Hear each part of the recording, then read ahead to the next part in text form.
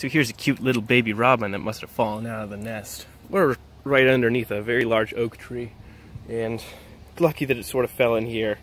I found it in the pot. Unfortunately, I had to go on a little chase to make sure that uh, it stayed in the pot because I must have been a little loud and it ran off. I had to grab it and bring it back. This is a very good spot for it to be in. I also elevated it on another pot.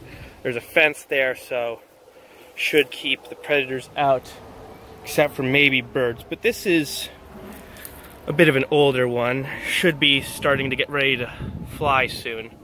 And he does not mind me at all at this point. Doesn't mind me petting him. Doesn't mind me sorta,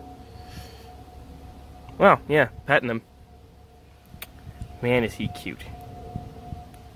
If his parents don't decide to feed him, then I think I might have to do some of that myself.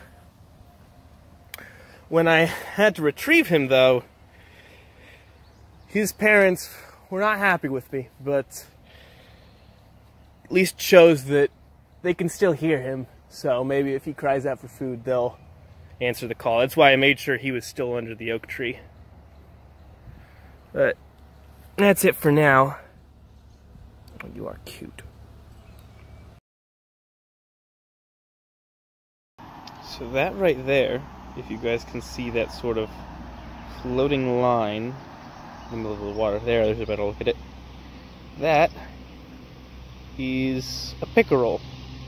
Not a large one, they get a lot bigger. But you'll notice there's a lot of other fish going around, like the sunnies and such. Now they're a little scared of me. They won't come close to the shore when I'm near, because for all they know I'm a predator. But as for that pickerel, they have a tendency, even when they're very young, even when they're babies, no more than an inch long, they are not afraid of you at all. Now these guys are edible, of course at bigger sizes.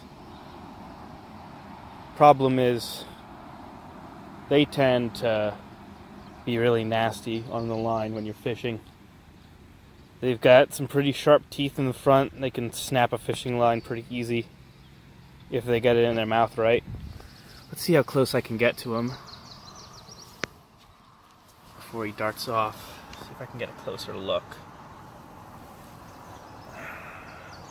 I wish that glare on the surface of the lake wasn't as bad. He's wising up a little bit. He's like, what are, you, what are you looking at me for? Why are you getting so close? Let's see if I can't get like over him a little bit. Maybe zoom in the camera. So you guys can see. Oh, yeah, there's that's a little better.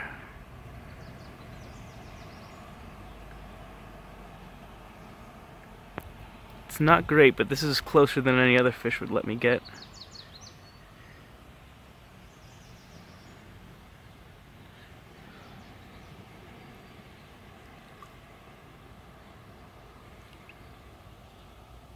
Yeah.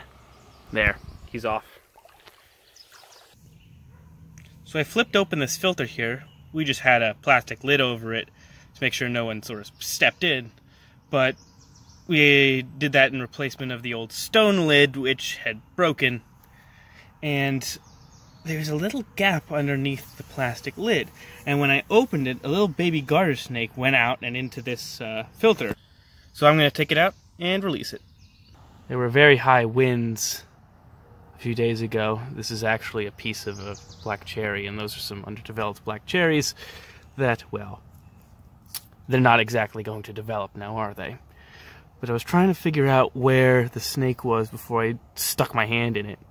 And I think that, that is him right there. That's his little end of his tail.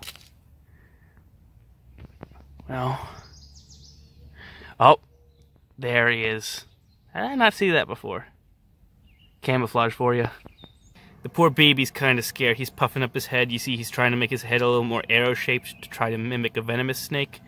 And he's a little bitey right now. Hopefully I'll get him to calm down. But right now, I'm going to have to head him carefully. Although, a snake of this size wouldn't be able to give me any sort of bite that would be dangerous. In fact, the bite Might not even break the skin. Well, this is about as much as I'm going to be able to handle him before I set him free. He's a little bitey, and his bites can't do much, but being bitten by any snake of any size is not pleasant. So I'm just going to let him go. Oh my goodness, not that way. That way. Yes. So that little guy musked up my hand pretty good. It smells awful. But I'm not worried because you know what's really great for getting rid of the smell of snake musk? Chlorinated water.